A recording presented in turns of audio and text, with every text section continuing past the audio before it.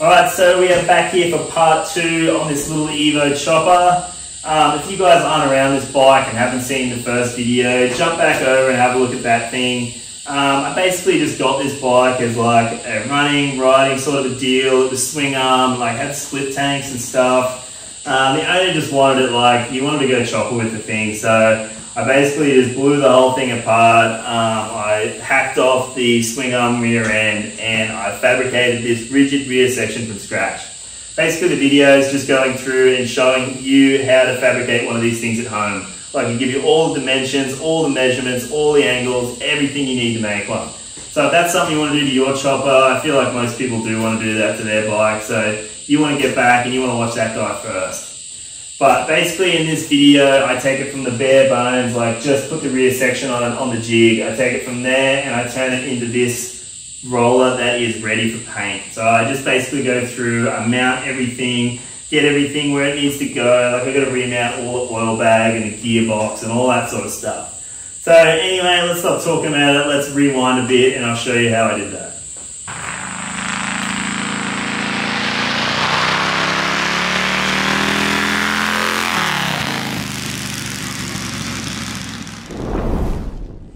yep, let's rewind back to this point a few weeks ago where I have just finished up doing most of the rear end on this thing and I've just put the engine in, the tranny in, all of the primary side in, I've whacked the tank on, you know, I've got the oil bag in here, got the rear wheel on, I've got it up in my jig here, just want to see sort of how it fits, make sure everything goes in. Usually you're not going to have electric start with a full alloy primary and a horseshoe oil bag in these things. So I just wanted to make sure it all fits and it fits mint.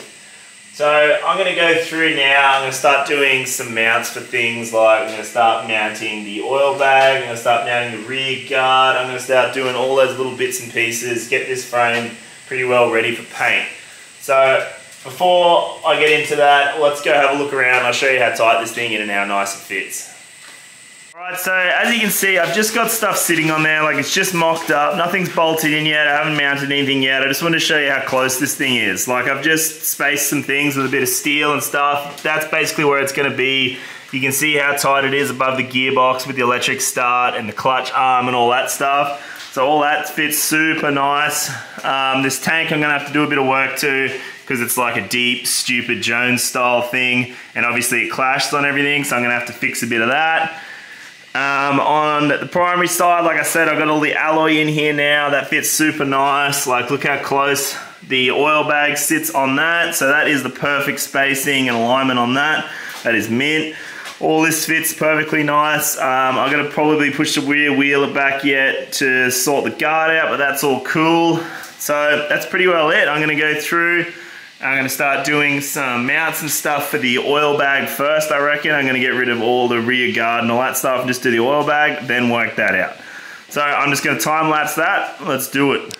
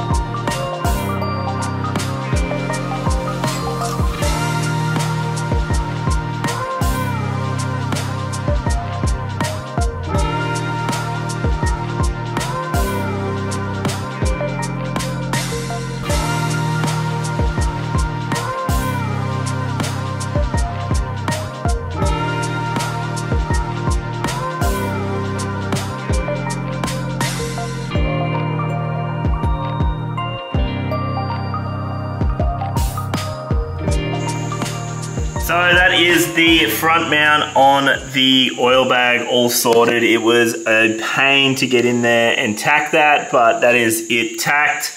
Um, super stoked on how cool these 85 Softail oil bags are with the vintage style hard lines with this cool little rubber grommeted holder for them.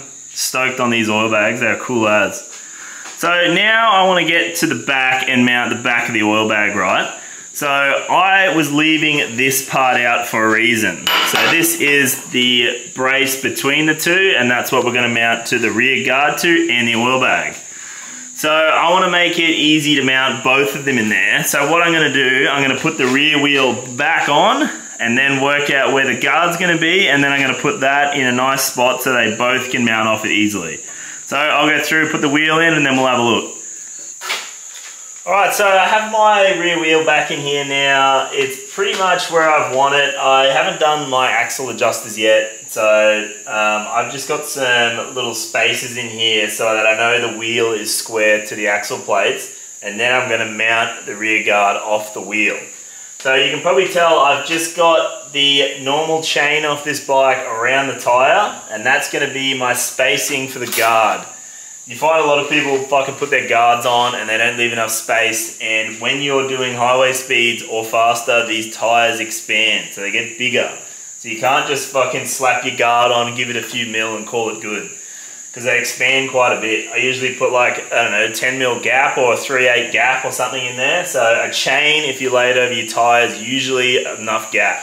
So that's what I always do. I've never had an issue. So you just lay your chain over it once you've got your desired fit. Um, I think with a rigid oil bag, you'd probably be right, but because this is a Softail oil bag, it's a bit longer and it fouls at the back on the tire. So I've had to push the tire a little bit further back just to make it a bit longer so that I can fit the guard, but it pretty well fits. So you just slide your guard over your chain down to where you want it to live so it's pretty tight, which is how I want it. And then my little uh, mount down the bottom is going to need a bit of a spacer, but that's no huge deal. But when you get, when I come to finding where my guard likes to be, I use these straps heaps. So these things are a hydraulic hose strap. So you probably saw me use it to mount the oil bag. These are real handy for getting stuff in the right spot, tightening it up, and sure you can do it with a zip tie, but you just got to keep cutting them where you can reuse this guy. So he is super handy for doing rear guards like this because I can put it on there like that. I can slide this to my desired spot and then tighten it up. Tighten it up like that. And then I'll put another one at the front here and that will be pretty well sorted. So I'm gonna work this out. I'm gonna work out how I'm gonna put this rear guard on and then I'll come back and I'll show you how I'm gonna do it. All right, so I have the guard basically where it's gonna live. That's sort of how I like it. It's nice and center. Um, a few things you gotta take into account when you're mounting your guard is first you wanna make it nice and rigid. So I usually mount it in three spots. So up the top where the sissy bar comes through, somewhere mid-range, sort of where the oil bag usually is at the top here, and then down the bottom there, sort of where that bottom of the gearbox mount there is. Something else you want to take into consideration is how you mount it. So sure, you can just have a bolt through it and then a nut, but then if that comes loose, your bolt just goes straight into your tire or if you can't get a spanner in there to do it up, that's also an issue. So I like to usually just weld something to the guard, like a bit of plate or something, and then bolt through that. So if you ever had to do it up on the side of the highway or something, you're not trying to jam a spanner in here or push the wheel off, take the chain off to get enough room to do it up, or you know, the bolt comes loose and you lose the nut or the bolt goes straight through the tire and ruins your tire. So I've sort of come to the conclusion that I'm going to put this guy in. I'm going to take the wheel back out. I'm going to put this guy in by itself and I'll mount the oil bag first. So it's got those little seats there. I'm going to weld this in just above it and then I'm going to fabricate some bosses that just bolt up from the underneath. So I'm going to go through, take all this apart, fit this, and then I'm gonna start making those bosses. And then we will come back and I'll finally mount the guard I reckon, to the back of the, the oil bag there where that flat plate is. So I'll go through, we'll do this brace first, and then we'll come back to this. So I've gone ahead and made this piece that fits up in here like this. I have it marked and everything. So I have little marks here where it lives. As you can see, quite a nice fit. Um, so I obviously went through and bent this and notched it. So notched with my trusty little notcher and bent it in my bender. For those making this at home, that bend was about eight degrees. So it perfectly copies knuckle pan type deal. So about eight degrees that bend. As I said, I have it all sorted up in here. Little trick for you players at home, if you put a bit of flat underneath where you want to weld it in, it'll make sure it's perfectly flat when you tack it in. So I'm going to go through and tack this in perfectly flat like that and then we'll get to making these little bosses that support the back of the oil bag. Alright, so I have this thing in here, it's fully square. I just used my rule, measured down to the axle plates and made it square off the axle plates and it became square with the oil bag, which tells me that it's in the right spot. So I am tacking this without the, um, the tower between it. So this will get a little bit smaller, but all you gotta worry about is when you weld it out, you have a space between here. Otherwise, when you do these welds on the inside here, this will become super narrow. So I'm just tacking it so it'll be right.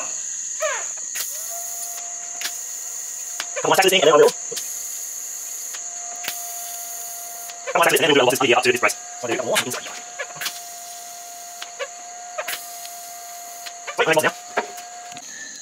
These are the little bosses that I made. They just uh, notched one side, threaded through, and they live just up here like so. So we put them in there like this, just like that, and then we bolt through them, and that is how the oil bag's mounted. So I'll go through and weld that out now.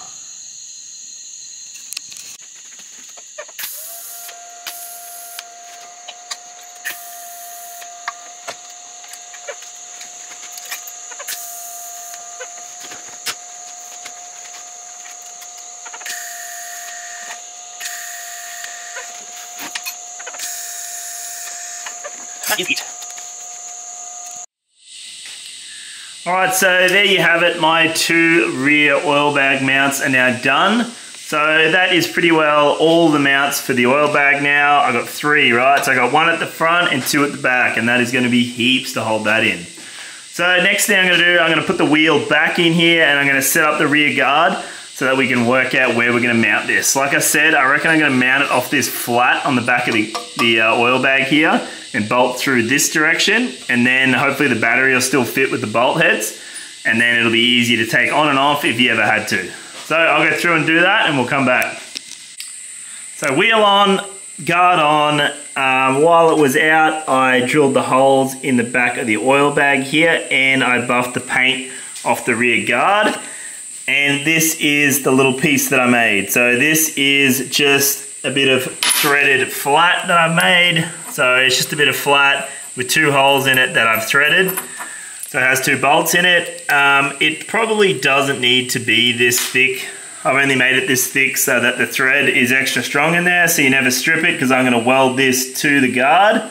But general rule of thumb, you want your material as thick as the bolt you're using. So say this was a 6 mil bolt, you'd want 6 mil material. So that is the usual rule of thumb. So that's what I've gone with.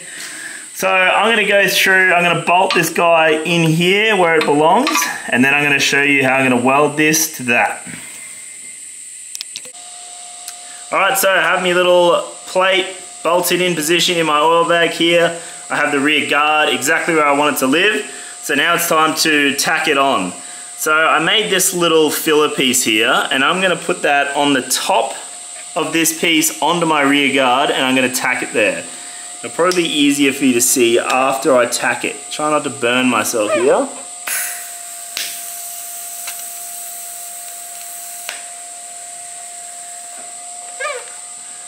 Alright, so as you can see, I've just got it a little radius on the side, a nice little packer there, and then I'll be able to tack this in position and then take the rear guard out, and then I'll be able to tack the other side of this plate down the bottom. So I'm just gonna go through and tack this in a few places, and then I can take this rear guard off.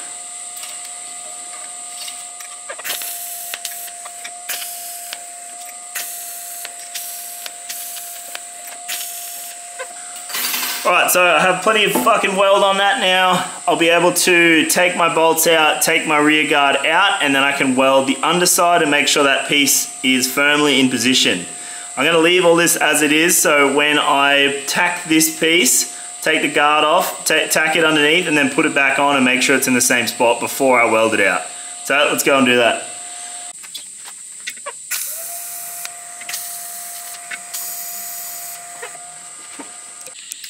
Alright, so that is pretty well that mid-mount on the guard all sorted. I tacked the back of it as you saw and I've put it back on. It fits perfectly. So when I come to welding this out, I'll just fill the sides of it and then weld it the whole way around. And then it'll look nice and uniform when I paint it. So that's that one sorted. Now the next one we have to deal with is this one at the back of the gearbox here, this little folded plate that I make. So I'm going to do that with just a little bit of threaded stock here. So I've just made this, fits straight in there like that. So I'm going to put the bolt through and then I'm going to weld it all the way around on the guard and that'll be the bottom mount sorted. And then I'm going to come along and do this rear mount where the sissy bar comes through. I have a sissy bar that I have has been already used on the swing arm and I'm going to modify it to fit this. So I'll show you that after I weld that on. Right, so I have me bottom mount tacked now, so that's all sorted. Now it's all sorted, that's good to weld out. Middle one's good to weld out. Now, while I've got it like this, I have a sissy bar that's already half made for this when it was a swing arm. So I'm just gonna modify this and make it suit this now because it already has like the bolt holes and stuff. Like this is not how I would have made a sissy bar. It's pretty thin, like it has a, a stress fracture in it already. And being so thin and wobbling around, usually I'd use a 5.8 or a 16 mil rod to do this. Anyway, I'm just gonna leave it because he's got it. Let's not spend too much money and time on this and let's use what he's got. So I am gonna time lapse this. I'm gonna use this bolt hole up here and then I'm gonna chop this bottom piece and re-weld it using the actual sissy bar spot on the axle plates. So I'll time lapse that and show you.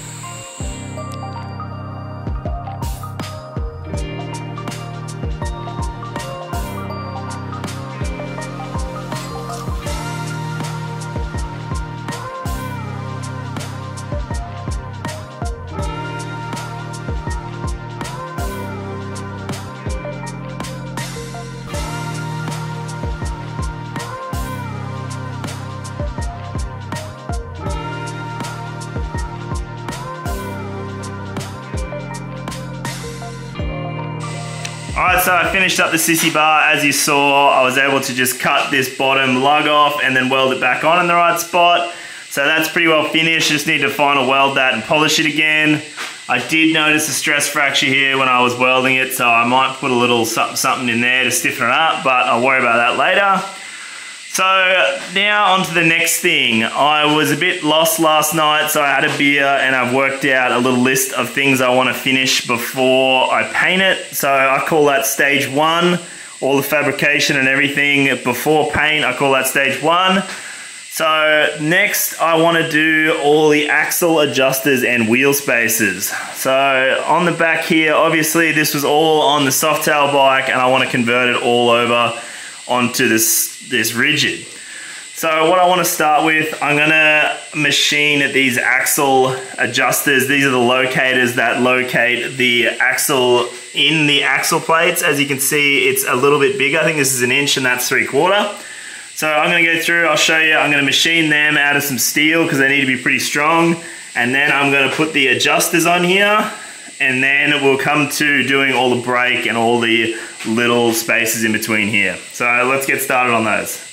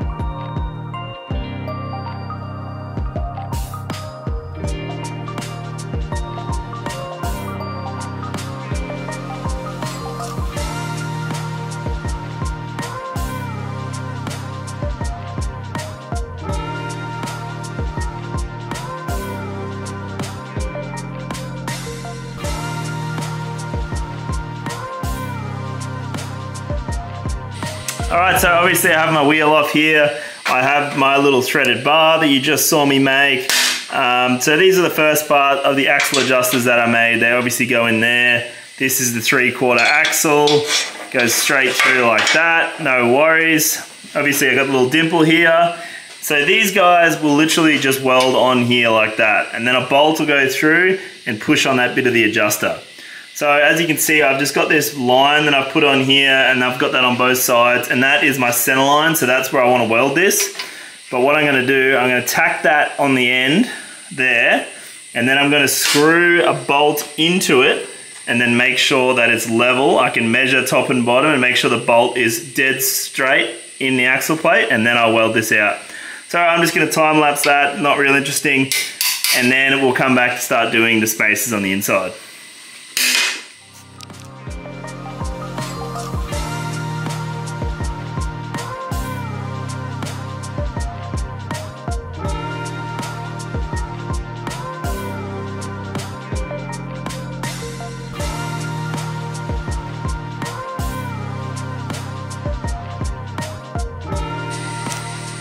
Alright, so I have all my axle adjusters on there now. Both sides are tacked on there just in case I want to change something.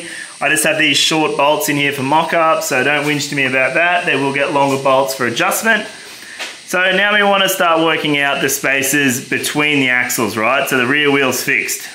So I'm obviously going to incorporate the original brake off the swing arm bike. So this is going to be too wide to fit in this now. So I'm going to have to modify this brace a bit. So the easiest way to work all this out is to put this in first, make that right, and then do that side. If you start on this side, then you're trying to take stuff off this side, it gets a bit ugly.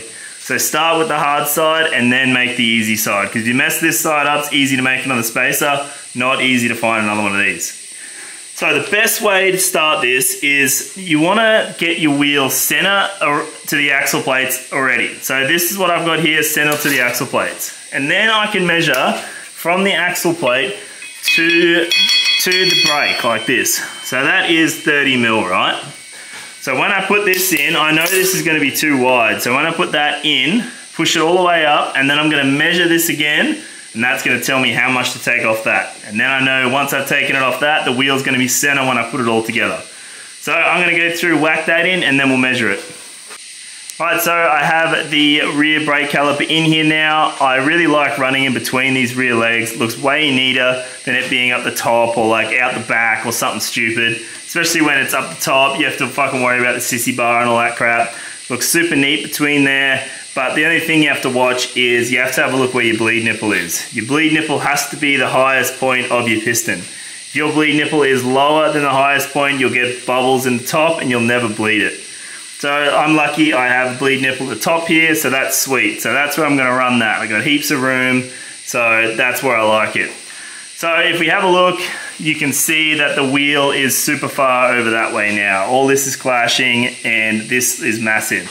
So as I said, all we gotta do is measure this. The last measurement was 30, this one's 35. So that tells us we need to take five mil off the outside of the brake caliper um, mount. So I'm gonna show you how to do that without a mill. I'll do it in my trusty little lathe and then we will be able to do the other side and then that is pretty well it for the spacers. Then we just have to make a little stay for this brake caliper to push on when you're braking. So let's get to it. All right, so I have my brake caliper here pulled apart. I just took the brake part off. This is obviously the mounting plate. Um, so what I've done, I've made a boss, right? And the boss taps into here just like this.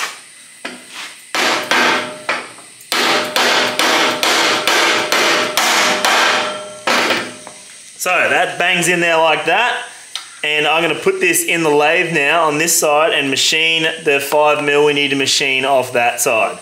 So obviously that was a nice press fit so I can put this in the lathe and don't have to worry about this shooting off and I'm going to machine my 5 mil off that and then we'll be good to put it together. So now I can spin this thing and take the 5 mil we need to take off this side. So I'll just go ahead and do that and time lapse it.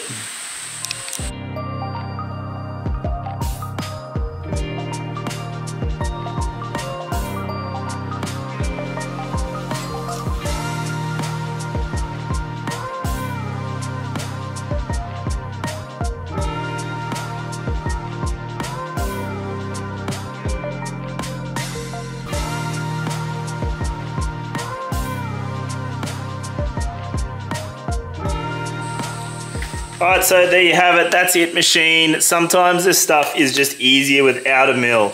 That was so much easier. All you had to do was machine up a boss and away it goes. No welding, no nothing. Just pressed in. So now all we need to do is knock this thing back out.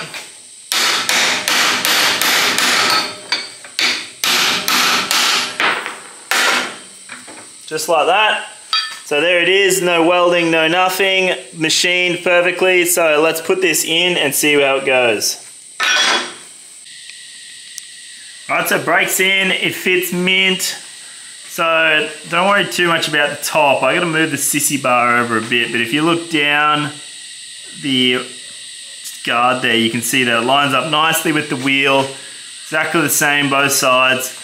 So that is in the right spot. I'm happy with that. So last thing is measuring this last spacer to put in. So pretty easy. You just want to chuck your rule in there. So we're working with like 15 mil. So you will have bearing crush as well. So sometimes it's nice to go like a mil more and then if you got a bit of bearing crush, it's all good. It takes it up. If not, you can always take a bit more.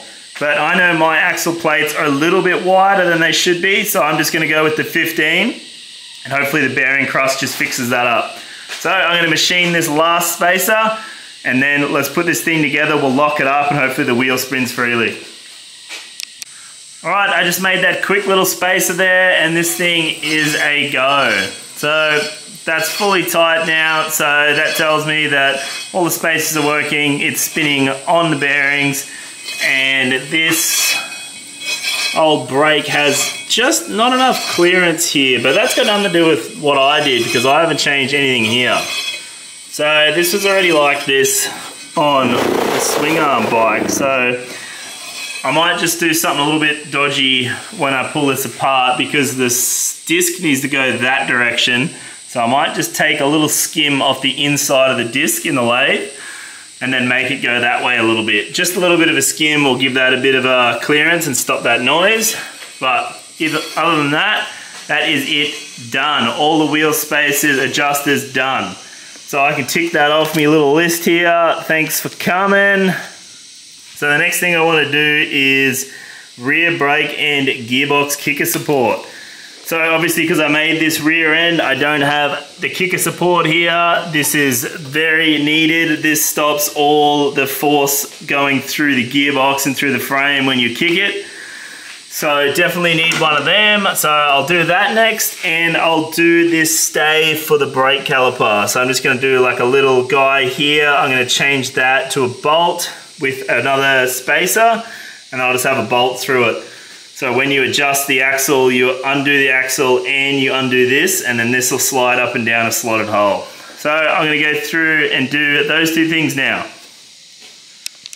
All right, so I made a few little bits here. Um, this is the original uh, brake stay, so that would have sat in there like that. It's just got a flat, and that would have floated up and down in a slot in the original Softail frame. So I'm gonna do something pretty similar I've made this little guy, so he's got a slot in him as well, and he's gonna weld to the frame like that, and I'm gonna pick up this bolt hole, I'm just gonna put a bolt through it with this bush behind it, so that'll lock all that up, so you just have to undo that when you adjust the rear wheel and then do it back up, no huge deal.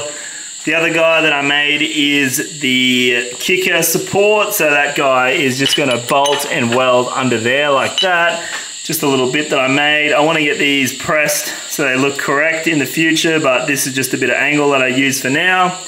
So I'm going to go through, weld those two on, I'm going to time lapse it, and then we'll come back and work out what I'm onto next. Have a look at our little list.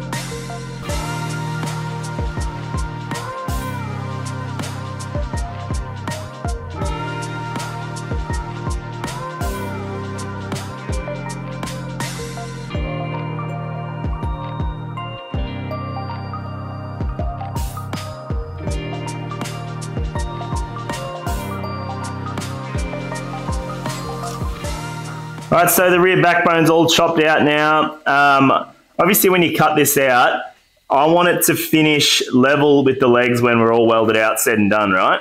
So you want to cut this, whatever the thickness of the material you're using to cap it, whatever that thickness is, you want to cut it that thickness below these guys so that when you're all finished, it's dead level with those.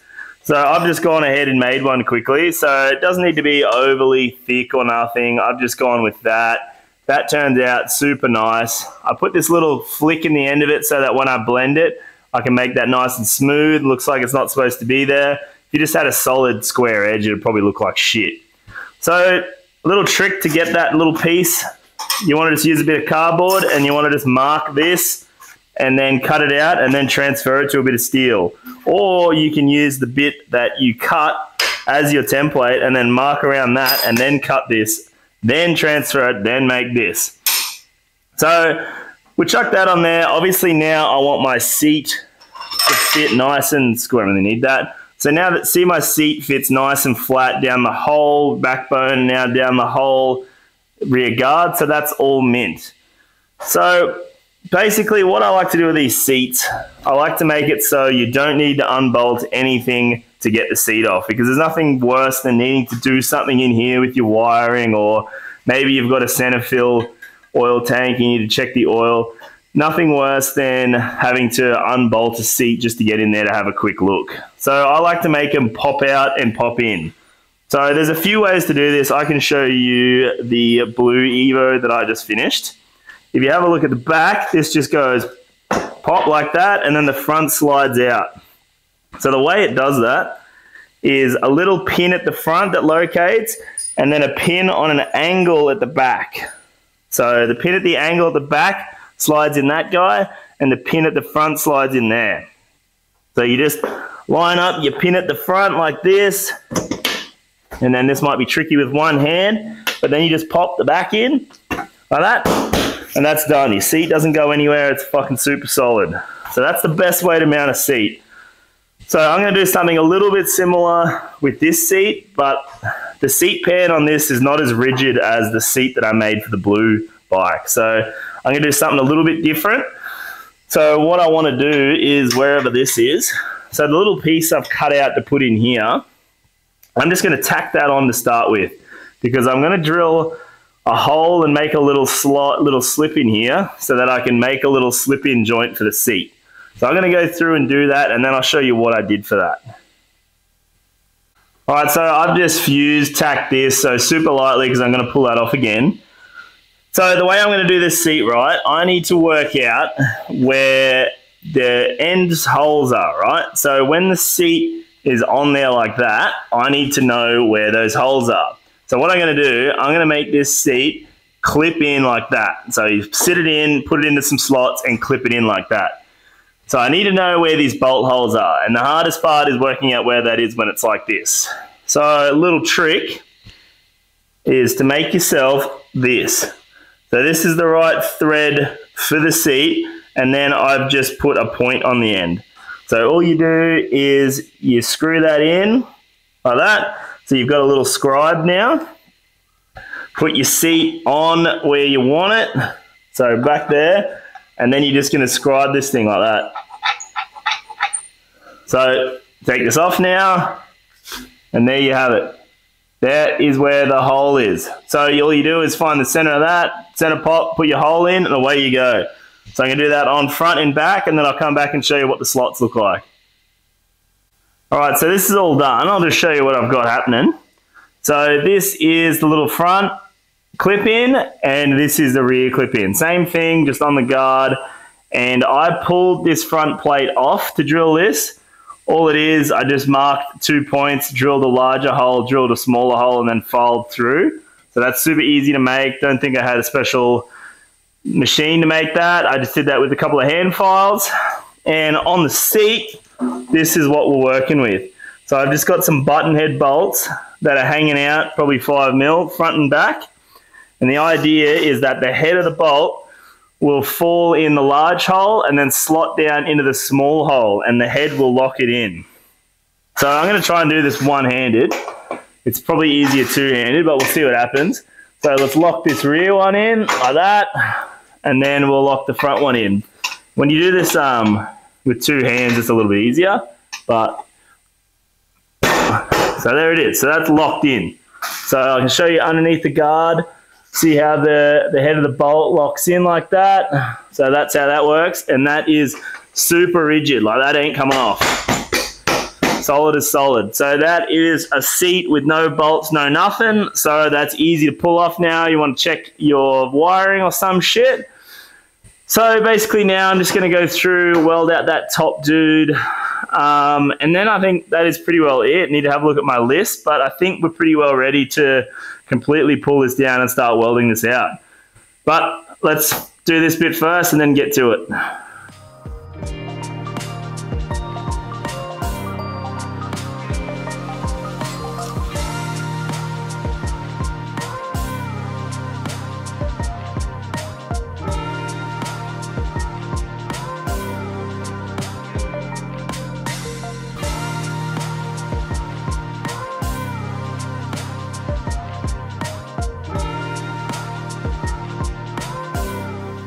Right, yep, as you just saw, I welded all this up and then shaped it, so that's all nice and clean and finished now.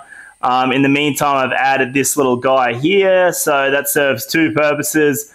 A stiffener, as you, if you look at any original frame, they have a casting through here to connect these two legs, make it super stiff through here. And also I made it all flat like this because I'm gonna run all my relays and stuff under here for my wiring. So all the wiring comes straight out and straight into the relays. So that'll be super clean doing it like that. So that that's that bit done. And then in my list I've been looking at, I've pretty well done everything. The last little things are like take off this original bracketry for later model frame. That's dead giveaway that it's later model frame. So if I rip all that off, it's a bit harder to tell. Um, I'll rip this stupid uh, steering lock thing off too. I'm going to cut that off and then I'm going to weld the hole up so it was never there. I'm going to fix this little guy here too, make that straight try and make this look a bit more early. And I got to pull this split tank top mount off as well because it's got that stupid small tank on it. So that's going to go up there. So basically to do all that, I'm going to have to pull the engine and all the gearbox and bullshit out. So I might as well weld this thing out as well while I'm there. So I'm just going to time lapse all of this, I reckon. Big long time lapse. Me pulling all this down, welding it all out. And then one of the last thing, I've got a test fit near complete bike. So I'm going to completely assemble this bike as much as possible with a tank and have all that bullshit on it and have a nice roller sitting on the ground, see what this thing looks like, and then it's complete tear down for paint. So here comes a big time lapse.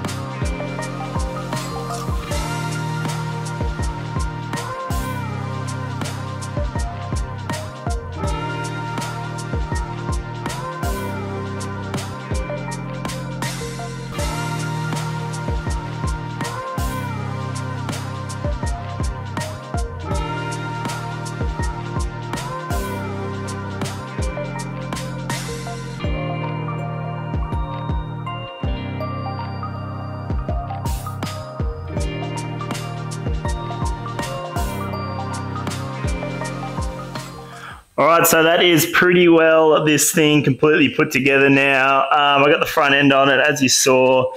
Some things are going to happen to this. I don't know why the bars are so stupidly wide like they are. They are fucking dumb. So I'm going to, when I put this back together, take probably two inches out of the center of that to try and narrow them up a bit. How silly wide they are. Anyway, we're going to fix the bars, going to shave the lowers, so this will be a shaved front end. Um, maybe shorten the tubes yet, not sure. Not really keen on doing that because they're hard to find, FLH tubes, but if I can find them, I'll do that. Um, all the rear ends together, oil bagging, all that. I put the foot controls on, um, so they're pretty straightforward. Haven't put any of the oil filter or uh, regulator or nothing on that. Haven't put any of that together because I don't need to. Um, pretty well, the only thing left to do is the tank. So obviously, this is a stupid, real deep tunnel Jones style thing, and obviously it fouls on the heads all the time. They are fucking the dumbest tanks, and I hate them. Anyway, this seems to be the style that everyone runs over here, so I'm going to have to modify this tank to make the mount fit properly. Now, if this was any worse, I would be cutting the tunnel out and lowering the whole thing so we could get more capacity in these stupidly small tanks. But there really isn't much to gain here, so I'm just going to put another mount in lower and then window patch it up. So I'm going to go through and do that, and then we're going to mount the thing to the frame with some bungs, do it the proper way, and then this thing is pretty well ready for paint. All right, so I started off by making this guy. This is going to be the new fake tunnel piece. So it's going to go in there. And then once I've tacked it where I want it, I'm going to lop this off and then I'm going to close that up with a piece. So what I did, I made that pretty well just out of a bit of flat, as you can see, 1.6 mil steel. I just wrapped it around a tube that is the same as the backbone. So that's super easy to do. And then I just shaped it like that. And I've gone ahead and put the hole in the backbone there, as you can see. So I can put that on and then I can do it all up. So I'm going to go through and do that.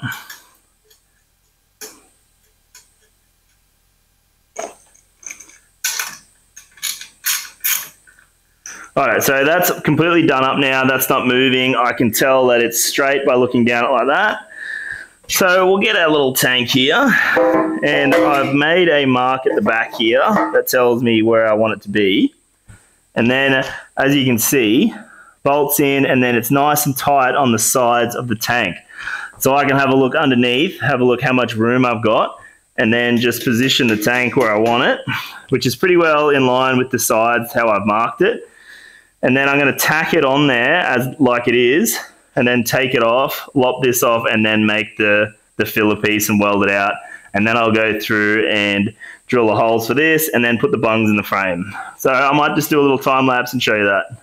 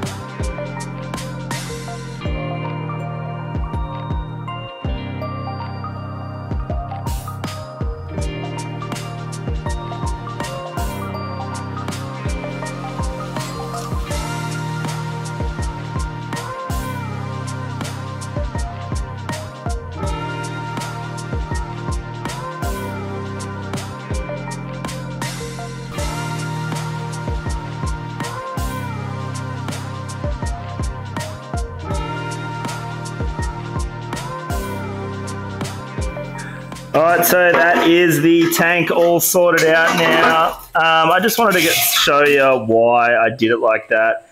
You see, uh, that whole piece that I folded, I was able to weld it back on the inside of the tunnel like that. And then again on the top here. So that is going to be super, super strong. Way better doing it that way than trying to just butt it into the corner here and then you've got a tiny little bit of weld.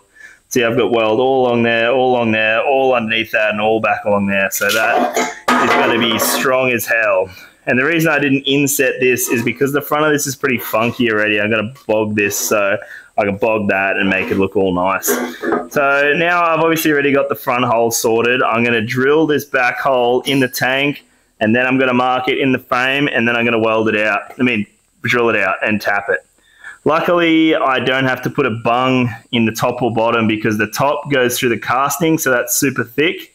And then the back here is going to go through the little bung that I welded in to support the rear end. So if you didn't have thick steel like that and you were just going into the tube, you want to machine a little bung and weld it in. I've done it a few times in past videos, so you can go back and have a look at that. Because nine times out of 10, you'll over tighten that like a behemoth and you will strip it. So that's why you do it like that. So I'm going to go through, get the tank mounted, and then we're pretty well sorted, I think. All right, so that is the tank completely on, done, finished, complete. Both holes drilled and tapped. Happy with how it's sitting, and that is where it's going to live. So that is pretty well the last thing I had to do before it's ready to pull this thing completely apart, polish it up nicely, and then paint it. So obviously, like I said, when I put this thing back together for final fit out, I'm going to be shaving the, the front legs, making this thing a spool, making that all nice. I'm going to be either changing these shit bars or modifying them. Um, I'm still going to be doing some fabrication on the last episode because I still got to do the exhaust. I'm going to do some upsweep stainless like I usually do. I'm getting sick of them. I'd like to do something different, but that is what everyone wants. So that's what he's going to get. So I'm going to go through, do some Evo stuff on that, and then basically just fit this thing out, do the complete wiring. I'll go through complete wiring in the next video because this has got a starter motor. So there's going to be another relay, another bit of shit going on. I'll go through that and show you how to do that. But basically, that is the end of this episode. Thanks for uh, watching, and I'll see you on the next one.